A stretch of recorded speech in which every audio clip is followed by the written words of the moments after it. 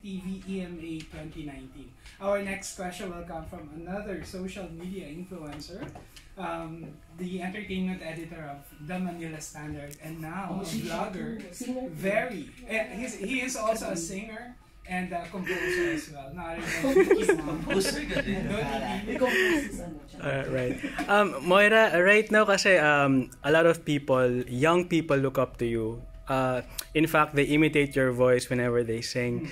Um, I just wanted to know, uh, did you ever experience like ikaw yung nag imitate ng voice ng ibang singer when you were starting out as a as an artist? Yes. Mhm. That's actually what I answer to people when they ask me how I feel when um, the young ones are trying to copy me. Mhm. And um, I always answer na um, while it is flattering, um, it I also feel um, for them because I know how it feels to be compared or to not be given a chance because you sound like somebody.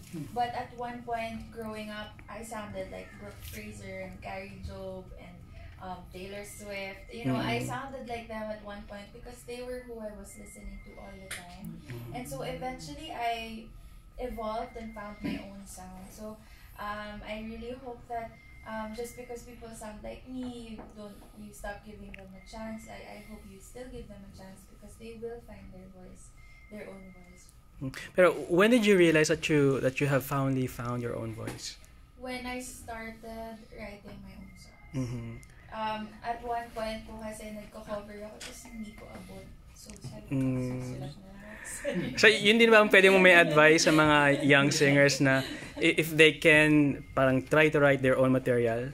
Yes, yes, yes. Mm-mm. Because um, you know, I I don't I'm um, not just write their own material, but really just write because Mm-mm. it really hones your creativity as an artist, not just a singer.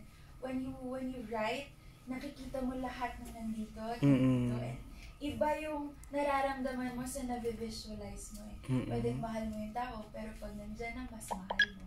Yeah. Diba? Parang alam mo yung feeling na yun na um, pwedeng may nararamdaman ka for somebody pero wala siya dyan. Mhm. It's it's so much more heightened when a physical thing is tangible enough for you to see that okay, this is where I am now. This is my heart.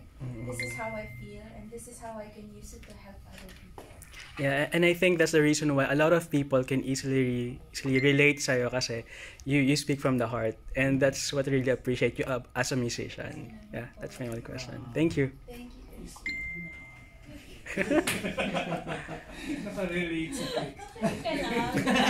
Type version. Ito, ah, bagong-bago ha. Moira will do a collaboration with no less than Mr. Gene Velasquez Wow. for the theme song of Unbreakable, which Wow. will be showing on November 27, starring Bea Alonso, Richard Gutierrez, and Angelica Panganiban. First time yun. Collaborate yung. Nag, nag ano na kayo? Nag, Sino sila? Si Sir Jonathan Manalo um, uh, nag-record na po ako. Nag-record na? Opo, pero... with her na. Did you record together or separately? Separate pa po. So, meron isa. Nung malaman mo, ano reaction mo? And Unbreakable pa yung movie. Mataas po ba to? Kung mataas, huwag na lang. Kasi legit. Legit ang Moira. So sila nag-adjust. Siya po. Kasi, siya la, kaya na mag-adjust. Ako, hindi ko po kaya mag-adjust.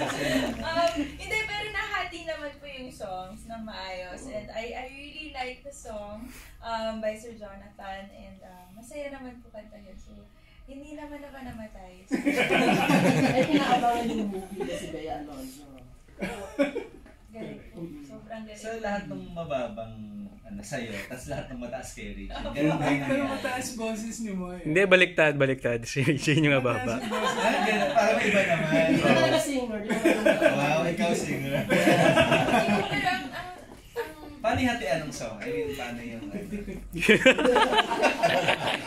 Kasi hindi ko po kami nag-record together. Nirecord ko muna po yung The whole. buong song. Mm. Um, okay naman po. But I I heard um, what she was gonna do and it's really our own takes together.